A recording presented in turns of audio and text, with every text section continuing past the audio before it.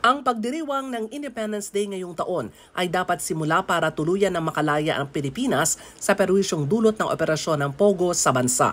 Ito ang wish ni Surigao del Norte Representative Robert Ace Barbers kaugnay ng paggunita ng 126 Philippine Independence Day. Umaapela si Barbers kay Pangulong Bongbong Marcos na pakinggan ang panawagan ng nakaraming sektor na ipagbawal na ang Pogo na siyang ugat ngayon ng iba't ibang krimen sa bansa.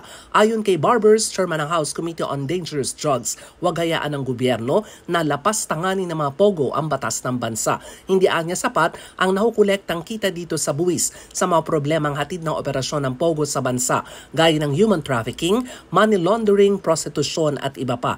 Dagdag pa ni Barbers, kung mahal natin ang Pilipinas, walang dahilan para patagalin pa sa bansang operasyon ng mga pogo.